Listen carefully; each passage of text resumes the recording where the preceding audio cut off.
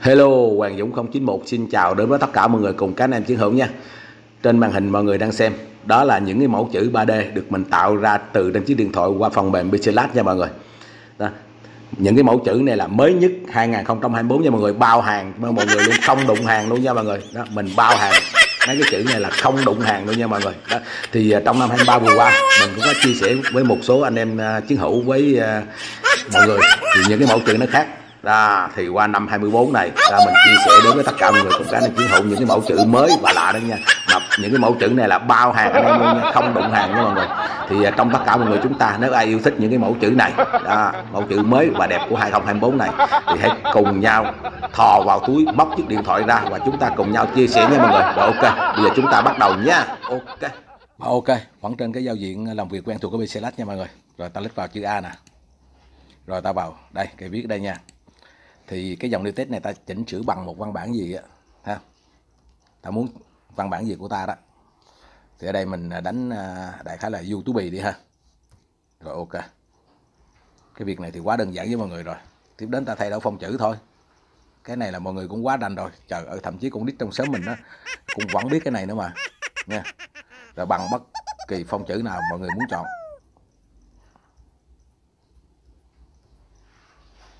Rồi mình chọn đại một phong chữ này nha. Ok đó. Rồi và bây giờ sau khi chọn phong chữ xong thì cái chữ của ta nó nhỏ rất đơn giản. Ta vào sai đây này. Cái này thì mình đã chia sẻ nhiều với mọi người rồi.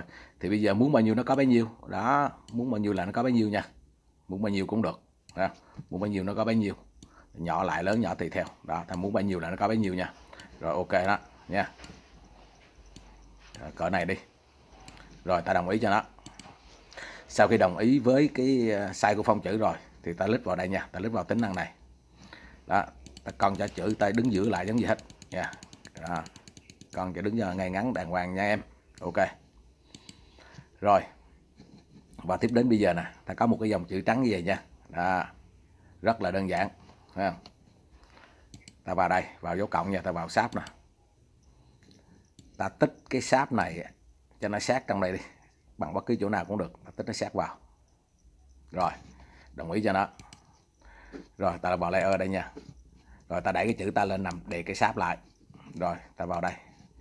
Tích hai chúng nó thành một. Ok. Rồi, thì bây giờ ta có một cái dòng chữ như vậy, nghe không? Ta có một dòng chữ như vậy rồi ta lít vào đây nha. Đây. Ta copy ta copy thì nó được một dòng chữ nữa nha đó, ta copy đã được một dòng chữ nữa. Thì bây giờ, tiếp đến cái dòng chữ mà ta copy ra đó nha. Ta nhờ đến tính năng cây bú này nè, ta lít vào. Ta bật nó lên. Thì nó màu gì thì kệ bà đó nó muốn màu gì ta cho nó màu nấy thì bây giờ ta cho nó màu đen đi. Trước mắt ta cho nó màu đen. Rồi, đồng ý cho nó nha. Rồi, tiếp đến, ha. Ta cũng copy một cái nữa đi nha. Ta copy nó một cái nữa. Copy màu đen đó nha. Copy nó một cái nữa đó. Thì bây giờ ta là, ta có ba cái dòng, là hai dòng đen, một cái dòng trắng nha. Rồi bây giờ ta lít vào đây. Nha. Ta lít vào đây, ta ẩn bớt ẩn bớt một cái nha. Ẩn bớt một cái cái thứ ba đó nha. Ta ẩn lại đi. Đó. Rồi, ta trở về lại cái dòng dòng trắng này nha. Ta lít vào cái dòng trắng này. Rồi, ta tìm đến cái tính năng. Đâu, tính năng nào? Đâu rồi? Đây đây tính năng này đây nha. Ta, ta lít vào. Và ta bật nó lên. Thì sau khi bật nó lên thì nó về nè cái bàn đó ta chỉnh cái chữ số này nè cho nó lên. Muốn bao nhiêu thì cho nó bấy nhiêu nha. Đó mọi người muốn cho dày mỏng thì tùy theo nha. Đó nhiều thường ở đây với kinh nghiệm mình làm mà thường ở đây cũng 10 11 12 giờ là đủ đủ rồi nha. Rồi bây giờ đây cho mình cho nó 12 đi cũng được không có gì hết. Tùy theo. Rồi ta đồng ý cho nó. Sau khi đồng ý cho nó xong ta tìm đến cái tính năng này đây cân bằng ở giữa lại. Cho em nó đứng ngay ngắn lại. Đó, đứng đàng hoàng lại nghe em. Ok đó.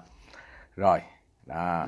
Thì bây giờ sau khi có một dòng chữ nó đứng ngay ngắn, cái dòng chữ trắng này nè, ta lít vào cái dòng, cái copy thứ hai là dòng chữ đen đó. Đó, ta lít vào. Thì ta cũng tìm đến tính năng giữa này nè. Đó. Đặt xuống luôn. Ok chưa? Đó, bây giờ thì hai, mọi người thấy hai chữ nó đứng chồng lại nhau ok rồi ha. Ta đồng ý cho nó. Tiếp đến ta lít vào đây. Ta tích cái dòng đen với cái dòng trắng này lại nè thành một này nha. Tích chúng nó lại thành một. Ok. Rồi. Là sau khi tích hai cái dòng này lại thành một rồi. Ta tìm đến cái tính năng này đây. Đây có cái đầu người đây nha ta lít vào. Bây giờ ta bật nó lên. Đó. Thì sau khi bật nó lên rồi thì nó sẽ màu trắng nó mất sẽ màu đen. À, màu trắng nó mất đây ta lấy lại gì đã mất ta lít vào đây. Rồi lít vào đây luôn rồi cái dòng chữ trắng của ta hiện ra. Ta kéo cái thanh này nè. Cái thanh này nó sát vào đây. Đồng ý cho nó. Sau khi đồng ý cho nó xong là ta lít vào dấu cộng nè. Ta cho nó một cái sáp này nha. Ta kéo cái sáp này khỏi vùng làm việc của mình đi. Đồng ý cho nó. Rồi tiếp đến ta tích cái chữ của ta với là cái sáp nè thành một nha. Ok. Rồi. Đó, bây giờ tiếp đến nè. Ta lại vào lại ở đây thì ta mở cái ẩn của này ra đi. Đó. mở ẩn ra thì bây giờ nó sẽ nằm ở dưới, mọi người thấy chưa? Ta đẩy lên trên, ta đẩy ra chữ đó lên trên. Rồi, tiếp đến, ha. Đó, cái dòng chữ màu đen nè. Ta làm việc với cái dòng màu đen này nha. Ta vào dấu cộng nè, ta cho một cái sáp. Nè. ta biến cái sáp này thành màu đen này nha. Màu đen đâu? Rồi, biến cái sáp này thành màu đen ta tích cái sáp này ha ta tích cái sáp này vào bất kỳ chỗ nào cũng được. Tích sát trong đây. Tích sát với cái dòng chữ màu đen này nha. Ok nó sau khi tích sát xong rồi đó, đó ta đẩy nó lên cho nó chồng cái đó. Rồi bây giờ ta tích hai chúng nó lại thành một này nha. Ok. Rồi tiếp đến bây giờ. Nha ta vào cái tính năng, ta tìm đến cái tính năng này đây đó, ta cho nó đứng tròn ở giữa lại đó. hồi nãy cũng đứng tròn ở giữa, bây giờ ở đây ta đứng ở giữa đây là xong nè đó, mọi người thấy chưa rồi đồng ý cho nó thì bây giờ bắt đầu không? mọi người muốn đổi màu cho nó bằng bất kỳ màu gì cũng được không? đó, ta muốn đổi, nó có hai cách đổi không? ta lấy màu từ bộ sưu tập cũng được, mà ta đổi màu bằng cây bú này cũng được nha ta lít vào. Ở đây mình đổi màu con này đi. Thì mọi người ở đây mọi người muốn chọn màu gì đó chọn. Muốn chọn bằng bất kỳ màu gì đó chọn nha. Màu gì cũng được tùy theo. À, nhưng ở đây ví dụ chẳng hạn mình chọn cho nó một màu xanh đi là ví dụ ha. nếu muốn đậm nhạt nữa ha màu xanh này nó hơi nhạt ví dụ đi thì ta lít vào dấu cộng nè. Đó ta kéo xuống ta tăng màu đó cho nó đậm lại ha. hoặc là ta chỉnh bằng cái đây. Đó cho nó chỉnh màu lại đậm lại cho nó đậm lại. Ví dụ đi ha rồi ok đó. Thấy màu sẽ đậm lại thấy chưa? À, thì sau khi chỉnh màu hết xong rồi ha ta đồng ý cho nó. Rồi thì tiếp đến bây giờ nè. Để cái cái cái cái dòng này đứng nguyên đó nha. Ta đổi màu xong rồi để đứng nguyên đó nha. Đó tiếp đến bây giờ ta làm việc với cái dòng trắng là dòng dưới nha. Thì hồi nãy mọi người muốn bây giờ ở đây mọi người muốn đổi màu gì cho nó cũng được. Bằng bất kỳ màu gì ta vào cái bú này nha. Đây thì hồi nãy cái nó màu đỏ mình muốn cho màu gì cũng được thấy không? Thì ở đây mình cho tiếp nó là màu xanh đi. Đó, đại khái. Thì hai dòng màu xanh nó đứng lên. Nên mọi người thấy chưa có gì chưa có gì hết. Rồi, ta đồng ý cho nó. Hai cái màu là tệp với nhau này nha. Đồng ý cho nó. Rồi, sau khi đồng ý cho nó xong, đã đổi màu một căn dưới rồi nha. Ta cuộn xuống dưới xong. Ta cuộn xuống dưới này ta lít vào inbox này nha. Ta bật nó lên. Đó. Cái dòng dưới ta bật nó lên nha. Thì để y nguyên đứng đó đi. Ta, sau khi bật lên rồi đi nguyên đứng đó, ta không đá động gì hết nha ta lít vào đây. Rồi ta tìm đến tính năng 3D đây nha. 3D đây. Ta bật nó lên. Đó sau khi bật nó lên thì nó về nè. Ha ta tìm đến tính năng này. Đó. Thì bây giờ nó lên 3D như vậy. Mọi người thấy bắt đầu chữ của ta bắt đầu từ từ nha. Chưa có gì hết mà nó bắt đầu từ từ từ đây nha. Rồi ta đẩy nó lên. Ta cuộn nó lên nha. Ta cuộn nó lên. Rồi bây giờ ở đây mọi người tìm, tìm đến cái tính năng chỗ cây đèn này nha đó, bây giờ mọi người muốn xây ở đâu cũng được. Muốn xây cho nó xây nguyên, xây ngã ở đâu cũng được nha. Muốn xây hướng nào cũng được, tùy theo mọi người xây nó nha. Đó. Còn mọi người muốn xây hướng nào cũng được. Đó. Xây xuống, xây lên gì cũng được. Trong những cái bài viết trước mình cũng đã chia sẻ này rồi nha. Đó. Đó, muốn xây ở đâu xây. Đó. Rồi, đó, muốn xây cái cái cái này, cái 3D này, muốn đi đâu là đi nha. Đó. Rồi thôi mình, bây giờ mình để cho cỡ này đi nha. Rồi, ok. Sau khi mình xoay cái này lên xong rồi ha ta đồng ý cho nó đi. Rồi tiếp đến ha, ta để đứng nguyên đó nha. Cũng như chưa có gì xảy ra hết. Rồi. Cũng vẫn cái dòng dưới tập tích vào inbox à. Rồi ta chỉnh cái này tiếp. Ha ta xây ta chỉnh cái này. Mọi người xây chỉnh làm sao cho nó ưng ý cái bước cái này nha. Đó, xây chỉnh cái mặt cái mặt sáng của ta nè. Đó bây giờ mình, mình chỉnh là mọi người thấy những cái gân này nè. Đó những cái đường gân nét này nó nổi lên chưa? Đó những cái đường gân nét này nó nổi lên nè thấy không? Đó rồi đồng ý với đây rồi ha thì ta đồng ý cho nó. Rồi bây giờ tạm thời để cho nó đứng đó đi nha. Ta lít lên. Là cái dòng dưới người ta lít lên ta làm việc cái dòng trên. Đó thì bây giờ đây ta cũng vào inbox nè. Đó. đã bật nó lên. Đó mọi người thấy bắt đầu có gì từ đây nha. Đó, sau khi ta bật nó lên. Thì sau khi bật inbox lên ta cũng xoay cái này nè. Chỉnh. Tùy theo tùy theo cũng, tùy theo tầm mắt mọi người mọi người muốn chỉnh nha. Muốn chỉnh sao cho nó đẹp thôi nha. Đó, bây giờ mọi người, đó. Nè chỉnh cái bề mặt này là nó sáng lên là mọi người thấy chưa? Đó. Tùy theo mọi người con chỉnh. Mình đã nói, từng nói trong Pixelat nó không có một thông số nào nhất định hết. Đó. tùy theo. Ta cân chỉnh nó thôi nha. Rồi sau khi đồng ý, sau khi ông ta đồng ý cho nó nha. Rồi, sau khi với cái tính năng inbox xong rồi ha. Đó. Tiếp đến, ta vào này. Tính năng này nha, ta bật nó lên bật nó lên. Thì ở đây bây giờ nè màu mặc định đó nó là hai màu mọi người thấy chưa? Bây giờ bằng bất kỳ mọi người, người mọi người muốn chọn màu nào cũng được không? Bây giờ ở đây mình chọn cho nó một màu trắng này mình pha cho nó một màu trắng đi nha. Đó mọi người thấy không? Màu nào thì nó lên màu nấy nha. Đó thấy chưa? Màu này hoặc màu này màu nào cũng được. Ta pha cho một màu trắng nha. Đó bây giờ ta chọn màu trắng. Mọi người muốn chọn màu nào cũng được mình thì mình chọn màu trắng nha. Đó bắt đầu ta tăng dần cái này lên. Đó bây giờ ta kéo này nè đó, ta kéo nè mọi người muốn đó thấy không? Đó ha, nó giận sóng nó giận sóng nó muốn pha màu ta muốn để đó ta muốn để đây đâu cũng được. Đó ta muốn cho nó sao cũng được nha tùy theo. Đó ha đó tùy theo mọi người muốn con con chỉnh nó như thế nào. Đó mọi người đã thấy nó chạy chưa? Đó mọi người thấy nó chạy qua chạy lại nè. Đó bây giờ nè đó ta kéo nè ta kéo này ta con chỉnh nó nha. Đó. Rồi sau khi kéo con chỉnh vừa ý cái này xong không?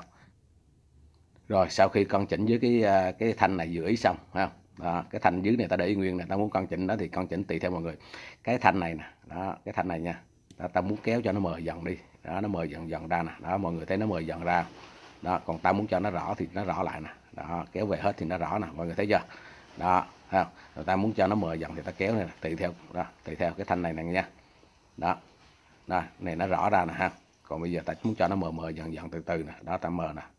Đó ta tăng dần nó lên là nó sẽ mờ. Đó mọi người thấy chưa? Đó, đó. nói chung là nó không có một thông số nào nhất định hết tùy ta. Ta canh chỉnh cho nó thôi nha. Đó rồi.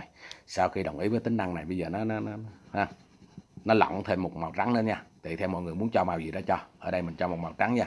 Đó rồi ta đồng ý với tính năng này của nó rồi thì ta ok nó rồi sau khi ok cái tính năng nó xong ta lại lít vào dấu cộng này nha. Ta cho vào đây. Ta cho một cái sáp. Ta kéo cái sáp trắng này ra khỏi vùng làm việc của mình đi. Rồi ta tích cái sáp này nè với cái dòng chữ trên nè ta đang làm đó. Thành một nha. Rồi à, sau khi tích thành một xong sau khi tích lại xong ta vẫn vào cái tính năng insert này tiếp nè.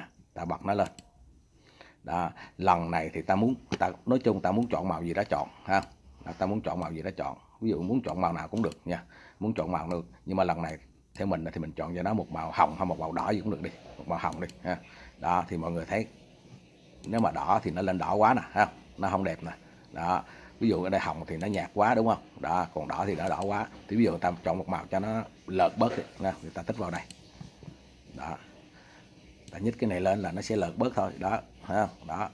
Đó. Ha ok. Nói chung về cái cách canh chỉnh màu mình cũng mấy cái ờ, video trước mình cũng đã chia sẻ nhiều rồi nha. Đó như chẳng hạn như màu hồng thì nó lợt quá thì ta thôi ta cho cái màu này nó đỏ đỏ đỏ nó ửng ửng đi. À, bằng cách nói chung là cái tô màu cái cái pha màu này tùy theo tầm mắt của mọi người nha. Rồi xong. Đồng ý với đó rồi ha thì bây giờ ở đây nè cái thanh này nè đó mọi người muốn kéo lên nữa thì kéo à, muốn kéo cho nó cái màu nó dần lên nữa thì kéo. Không muốn kéo tại để y nguyên. Đó, đó tùy theo. Đó, kéo lên nữa thì cái màu nó nó, nó đỏ ra nè ha. Còn không kéo nữa thì đã y nguyên đó. Đây cũng được ha. Không có gì hết. Chẳng hạn 11 10 rồi tiếp đến cái thanh này cũng vậy nè. Đó, cái thanh này mọi người muốn kéo nó lên thì kéo nè. Đó, muốn kéo pha nữa thì kéo nè. Đó kéo nó lên màu đỏ nữa thì kéo ha. Màu gì nó ra màu nấy. Bây giờ chẳng hạn người ta ta để vậy. Đó ha muốn để vậy thì để không muốn để thì ta, ta cho nó về lại hay là ta cho nó về cũng được. Tùy theo. Đó tùy theo ta cân chỉnh cái này nha. Đó mọi người thấy không? Đó tùy theo ta cậu ta pha ta cân chỉnh cái này. Đó tùy theo. Đó ta làm sao mà cho nó đẹp thôi thôi nha. Đó một không có một cái thông số nào nhất định hết.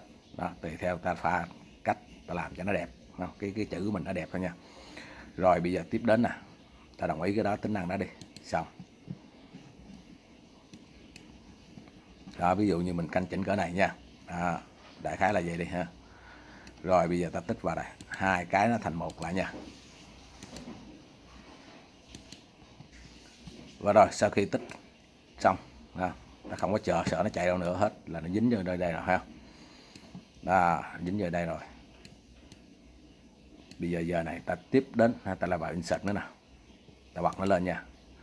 Đó thì bây giờ lần này ta muốn chọn màu gì ta cũng muốn chọn màu gì đó chọn ha ví dụ ở đây mình chọn một màu đen màu đỏ màu xanh màu gì cũng được. Ví dụ như ở đây thì mình chọn cho nó một màu vàng đi nha. Đó, mình chọn cho nó một màu vàng. Thì bây giờ đây là mọi người. Này kéo này nè. Đó, đó kéo thì màu vàng nó sẽ vô nè ha. Bằng bất kỳ màu gì cũng được. Đó, muốn chọn màu gì thì chọn ở đây. Bây giờ mình chọn cho nó một màu vàng. Đại khái là vậy đi ha. Đó một màu vàng đó cái thanh này ta cho nó xuống xíu nè. Đó cái thanh này cho nó xuống nè. Vừa đi lên là nó đây nè nha. Đi lên là nó đây. Còn đi xuống ta kéo từ từ cho nó xuống nè. Đó đại khái. Nha đó thì bây giờ cái màu bây giờ là ta nói chung là chọn màu gì thì nó ra màu đó nha. Tất cả là chọn màu gì nó ra màu đó. Đó sau khi con chỉnh hết rồi nè. À, cái thanh này nè ta kéo nó về. Đó thì cái màu nó cái màu nó lộ rõ ra nè. Ha, cái màu nó lộ rõ ra giống như ta trồng lớp mà không phải là ta trồng lớp nè. Mà màu lộ rõ ra. Nhưng bây giờ ta kéo cái thanh trượt này nè. Đó. Cho nó về đây. Về đây về đây về hết đây. Đó kéo thanh trượt này về hết đây thì mọi người sẽ thấy nó mờ mờ dần dần đi nè. Cái màu nó mờ dần dần dần đi. Thấy không? Đó. Thì ta lùi nó về một tí xíu nè. Đó, ta cho nó mờ ít ít thôi. Đó. Đó thì mọi người thấy chưa? Đó nó đỏ. Qua nó vàng. Rồi nó mờ dần dần dần. Nó xanh nó mờ dần dần ok chưa? Đó. Rồi. Cái này thì muốn chọn màu gì đó chọn thì ở đây mình chọn một màu vàng nha. Đó. Tùy theo cái thanh này nè. Tùy theo cái thanh này là con chỉnh đó nha. Đó. Nè đó kéo hết lại lại đó thì nó đỏ màu nó, nó rõ ra nè. Giờ ta kéo cho nó mờ mờ nè. Rồi.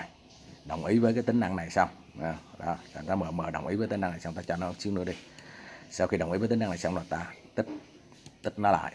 Ồ, ok nó chứ ok nó. Rồi sau khi à, với cái tính năng nó xong không? ta tìm được cái tính năng này đây. Ta bật nó lên.